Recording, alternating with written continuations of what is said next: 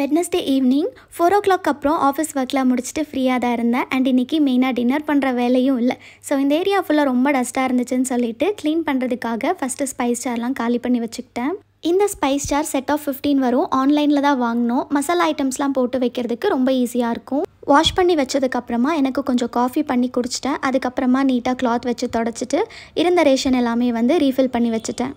இது முடிச்சதுக்கப்புறமா இன்னும் கொஞ்சம் கிளாஸ் ஐட்டம்ஸ் காஃபி மக்ஸ் பிளேட்ஸ்லாம் இருந்துச்சு. அது எல்லாமே வாஷ் பண்ணிவிட்டு கொண்டு போய் ஹாலில் வச்சுட்டேன்.